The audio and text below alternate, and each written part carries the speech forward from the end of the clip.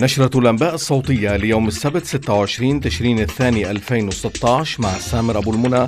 إشراف مفوضية الإعلام في الحزب التقدمي الاشتراكي.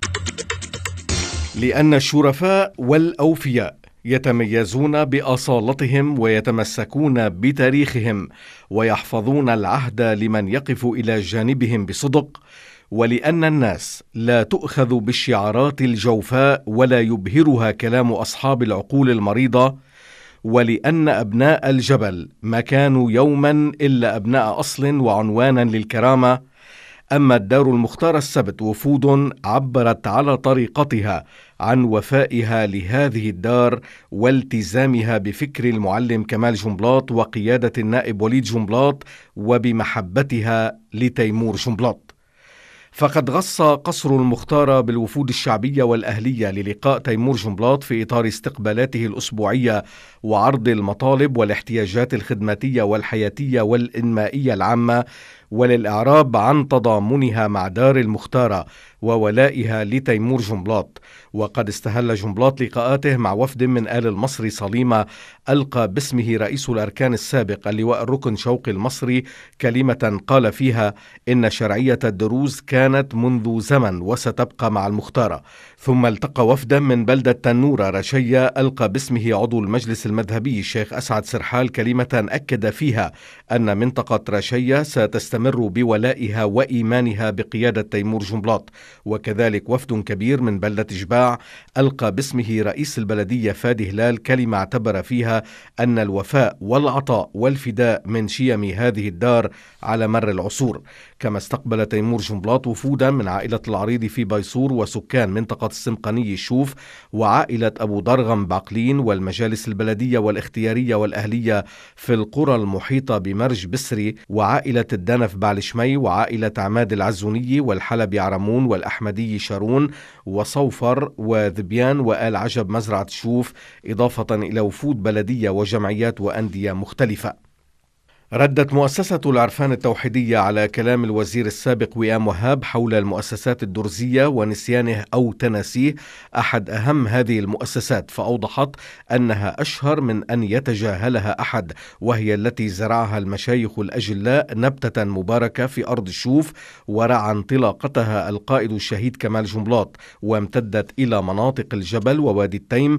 مدارس توحيدية تحضن آلاف الطلاب وترعاهم وتربيهم تربية دينية ووطنية صالحة بالإضافة إلى مركزها الطبي وتقديماتها المتنوعة ودورها الثقافي وعلاقاتها الواسعة والمميزة مع المؤسسات التربوية والثقافية والاجتماعية والدينية والإنسانية على امتداد الوطن وخارجه.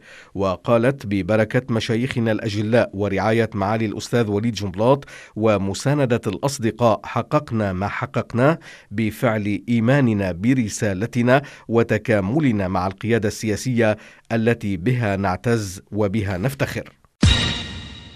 كتب رئيس اللقاء الديمقراطي النائب وليد جنبلاط على تويتر نقيم تقييما عاليا العمليتين النوعيتين اللتين قام بهما الجيش اللبناني في اعتقال عماد ياسين وأحمد أمون لكننا بنفس الوقت نجب إقامة جدار فاصل شبيه بجدار الفصل العنصري في فلسطين ومن جهة أخرى كتب جنبلاط على تويتر كاسترو أسطورة تاريخية في مواجهة الاستعمار والحصار وقائد تاريخي لحركات التحرر رحل اليوم. علق وزير الصحة وائل أبو فعور على الحرائق المندلعة في الكيان الإسرائيلي بالقول إن ما تتلظى به دولة الاحتلال الإسرائيلي من نيران ليست بالشيء الذي يذكر أمام نار الحقد في صدرها وصدر قادتها. علها يوما تحترق بهذه النار وتضحي رمادا منثورا. أقام المركز التقدمي للتمكين بالاشتراك مع مؤسسة فريدريش إيبرت حفل تخريج للمتدربين للعام 2016 في احتفال أقيم في فندق ريفيرا بيروت. أمين السر العام في الحزب التقدمي الاشتراكي ظافر ناصر أكد أهمية التجربة التي يمثلها المركز وعلى إصرار الحزب العمل في مختلف الاتجاهات بما يعزز القدرات المعرفية الشبابية ويفسح مجالات المشاركة أمامها. وشكر ناصر مؤسسة فريدريش إيبرت إيبرت التي تعكس بشراكتها مع المركز ومؤسسات الحزب الأخرى عمق قناعتها بالتنمية الإنسانية والبشرية. وفي نهاية الحفل وزعت الشهادات على المتخرجين. زار وفد من الحزب التقدمي الاشتراكي برئاسة وكيل داخلية الجنوب حسين إدريس مجمع فاطمة الزهراء في صيدا وكان في استقباله مسؤول منطقة صيدا في حزب الله الشيخ زيد ظاهر وعدد من المسؤولين حيث جرى استعراض مختلف المستجدات على الساحة المحلية وتم التأكيد على الثقة بالمؤسسة العسكرية الضامنة للاستقرار والسلم الأهلي وعلى ضرورة التعاطي مع المخيمات بذهنية إنسانية لا أمنية. وأكد المجتمعون يتفقون على ضرورة تأليف الحكومة واستثمار الأجواء الإيجابية.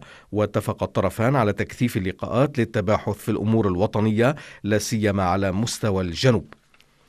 في فندق الريفيرا بيروت عقدت منظمة الشباب التقدمي بالتعاون مع مؤسسة فريدش إيبرت جلسة نقاش مفتوح بين عدد من ممثلي الجامعات وممثلي الطلاب والمنظمات الشبابية والمجالس الطالبية المنتخبة بعنوان حتى صوت الطالب يوصل وذلك بحضور مفوض الشباب في الحزب التقدمي الاشتراكي صالح حديفي والأمين العام لمنظمة الشباب سلام عبد الصمد ومدير مؤسسة فريدش إيبرت أخي فوخت وجرى شرح وتقديم نماذج عن الواقع الحالي وخلص اللقاء إلى توصيات وفق كل جامعة.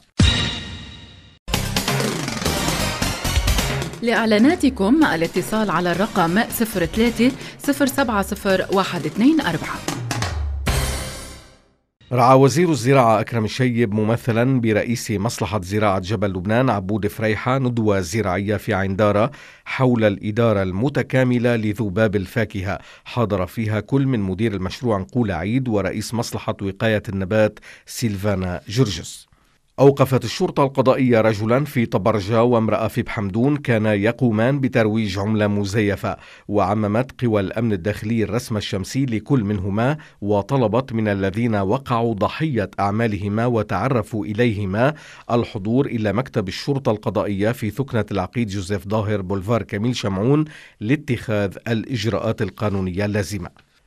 في الرياضة ثلاث مباريات يوم الأحد ضمن ذهاب الدوري اللبناني فعلى ملعب أمين عبد النور بحمدون يتقابل الإخاء الأهلي علي مع السلام زغرتة وعلى ملعب رفيق الحريري الدولي في صيدا يلعب التضامن سور مع العهد فيما تشهد المدينة الرياضية في بيروت مباراة بين شباب الساحل والنجمي في الأحوال الجوية بشرى إلى مستمعي نشرة الأنباء الصوتية. الأمطار تعود آخر هذا الشهر.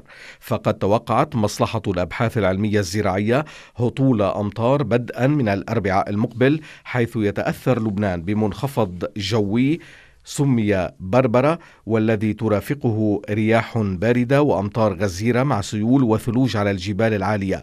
وحذرت المصلحة من تكون الجليد ليل السبت 26 والأحد 27 تشرين الثاني على ارتفاع 1200 متر وما فوق. المزيد على موقع جريدة الأنباء الإلكترونية أنباء online dot com وتويتر أنباء أونلاين وفيسبوك أنباء أونلاين.